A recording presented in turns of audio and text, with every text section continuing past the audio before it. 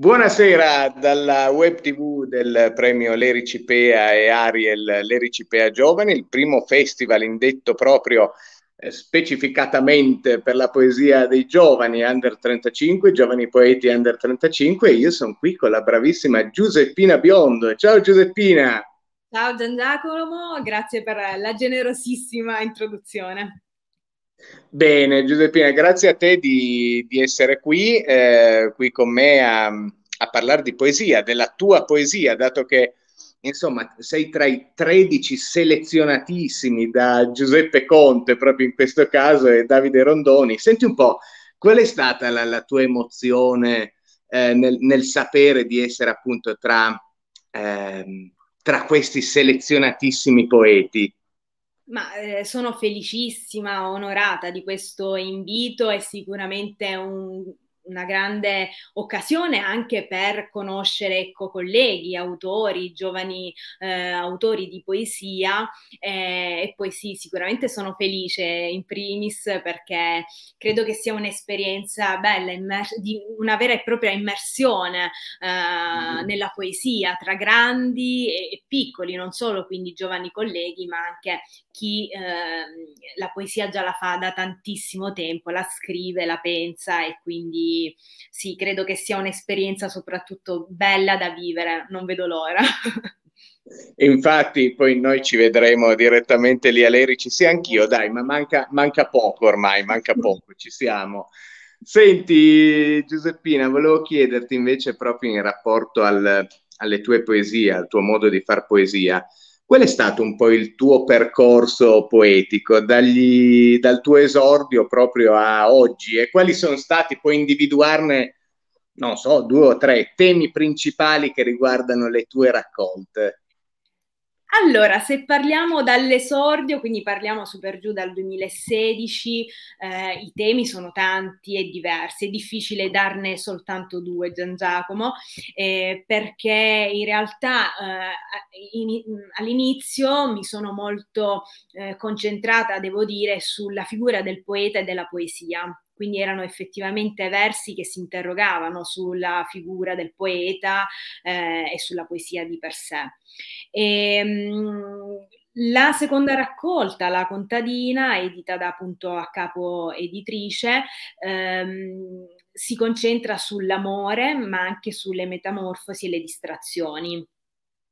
Quarantine, oh. l'ultimo libro, quello più recente, edito uh, dalla casa editrice La Vita Felice, ehm, ha come tema la gabbia, e la gabbia però qui diventa un insieme a sé stante di, di, temi, perché gabbia è sì anche l'amore, quello passato, quello presente, ma è anche la metrica, il mondo editoriale, l'educazione, la religione, la lingua, qualsiasi cosa può diventare gabbia. Quindi come vedi mi è proprio difficile eh, anche il linguaggio, la lingua, eh, sono tutti temi che io affronto e, mm, e li affronto tra l'altro anche con stile e, e metro diverso. Eh, quindi eh, far rientrare le tre raccolte, ma anche in generale le poesie, le mie poesie all'interno di una sola struttura, o, come dire, so, sotto un'unica etichetta mi è difficile. Diventa, diventa un po' difficile, quindi eh, senti che comunque c'è un'evoluzione in questo tuo percorso, sia stilistico che tematico proprio a livello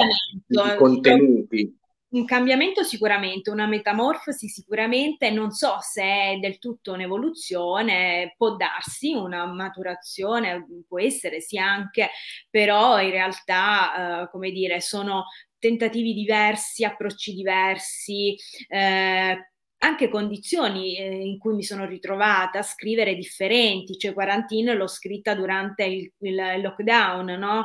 Eh, quindi in qualche maniera... Raccolta, era... tra l'altro mi permetto di, di, dire bellissima, che ho letto tra l'altro da poco, quindi mi raccomando... Eh, Generosissimo di nuovo. e, ehm, devo dire, appunto, mi trovavo all'interno di una condizione molto... Eh, di chiusura evidentemente, quindi da certo. lì eh, sono stata un po' come una pallina impazzita all'interno di una, uh, di una gabbia, no? di un contenitore e sicuramente è, dif- è, stato diverso, è stato differente rispetto alla scrittura più diluita nel tempo anche eh, di, della contadina o di come si salva un poeta, il titolo appunto della mia prima pubblicazione con Libridine editore. Um, quindi ecco, ci sono poi tutti questi fattori ancora differenti che caratterizzano le, le diverse raccolte, i diversi libri. Certo, Bene, grazie Giuseppina. Per in realtà ci sia sempre Giuseppina dietro a queste, a queste raccolte, quindi certo. qualcosa di me eh, credo che sia identico. Magari non so se poi è del tutto vero, ma forse nella prima raccolta si sentono di più certi miei maestri, no? Eh, c'è forse un'influenza, eh, come dire, maggiore anche da parte di Whitman, eh, mi verrebbe da dire in uh, Come si salva un poeta, ma questa influenza, per esempio, permane probabilmente anche sia nella contadina sia in quarantina. In quarantina meno, nella contadina ancora c'è.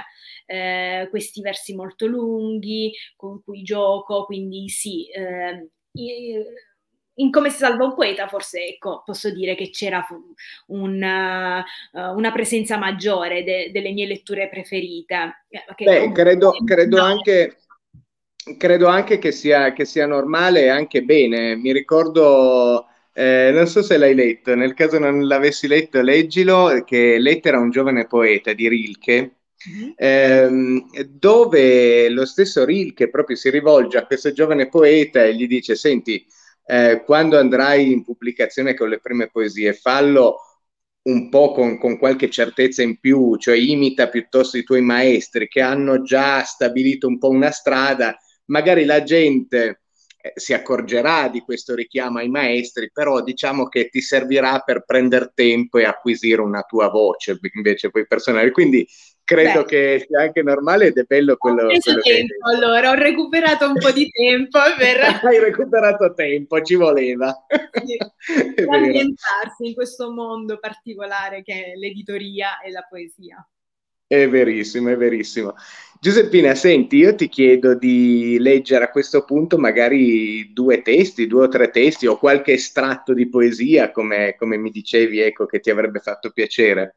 Forse sì, qualche estratto, preferisco qualche estratto.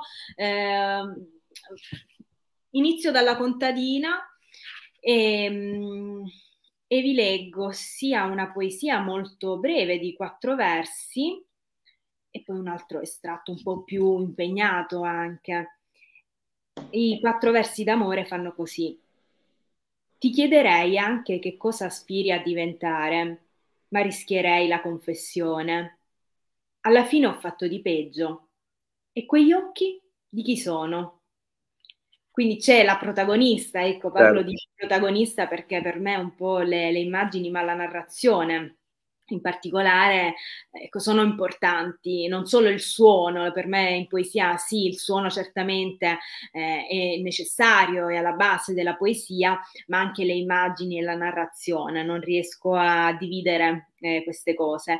Certo. E allora la protagonista, eh, in particolare in questi quattro versi, eh, teme di far intuire alla persona amata il proprio interesse, eh, chiedendo semplicemente eh, cosa aspira a diventare, in realtà poi fa di peggio perché chiede ma quegli occhi di chi sono? Cioè eh, gli occhi poi sono davvero forse il simbolo, eh, certo. eh, come dire, l'abbiamo sperimentato credo tutti in questo periodo di mascherine, no? Cioè ci siamo tutti concentrati sugli occhi dei nostri interlocutori e effettivamente vero, vero. Eh, sono una parte mh, delle, della persona, degli uomini e delle donne fondamentali. Ci si può innamorare solo attraverso gli occhi, ecco. Poi magari uno toglie la mascherina, la mascherina e cambia idea, però, però ecco, gli occhi al di là della, della battuta sono veramente una calamita spesso, no?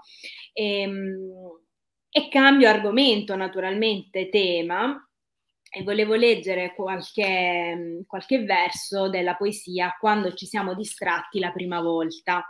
Um, È una poesia che alterna eh, versi più prosastici, più lunghi e mh, proprio quasi discorsivi da, da conversazione a eh, versi più da ballata. Un, tra l'altro si crea eh, ecco, ne leggo soltanto una parte, ma se dovesse capitare eh, di, di, leggere l'intera poesia, eh, ti accorgeresti o vi accorgereste voi ascoltatori eh, che c'è questa ballata che cresce, si forma via via, no? Cioè si vedono alcuni personaggi e quando ritorno su questo, diciamo, ritornello, anche se è improprio mm. probabilmente da definire così, eh, si aggiungono dei versi, quindi si aggiunge una narrazione.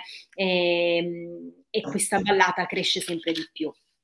Vado certo. eh, nella parte che interessa eh, leggere. E si parla di distrazione. Chi avrebbe potuto dubitare che ogni azione non fosse realtà, ma distrazione, ma almeno sapere come è cominciato? Bruciano gli occhi e ogni terra. Quando ci siamo distratti la prima volta, un bambino che gioca non può saperlo, forse lo sa un bambino che guarda la guerra. Non può saperlo neppure quell'anziana signora che mette la spesa nei sacchetti e paga in banconote. Forse lo sa quell'anziana signora che cura la vita del suo giardino. Lo sa quell'uomo che guarda dalla vetrata del grattacielo in cui lavora.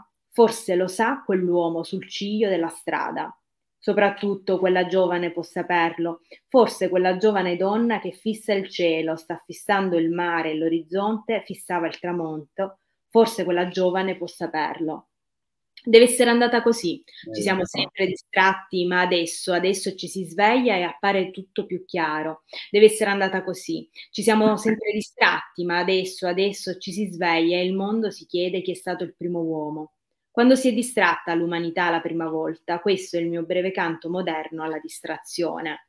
Ecco, mi, è, mi, sono mangiato un non nella lettura, ecco, c'era un, l'uomo, non lo sa quell'uomo che guarda dalla vetrata, lo sa quell'uomo okay. della strada, ecco. Eh, volevo precisare, altrimenti il senso poi magari si, non si coglieva. Certo, però... si, si perdeva un po'. Però, però, molto bella anche musicalmente, mi piace, mi piace questa lettura, poi tu l'hai letta bene. Grazie. Quindi, sai che stavo, stavo, ancora ripensando all'immagine degli occhi che, che, hai mandato, adesso non mi ricordo quale, eh, quale poeta, no? Per, eh, che, che nei suoi versi, proprio adesso non li ricordo perfettamente, ma diceva se volete capire lo stato d'animo di un uomo, coprite la bocca e il naso e guardate gli occhi, no? Perché effettivamente è difficile mentire da lì. E, ehm, forse pure la bocca può essere utile da, come segnale, no?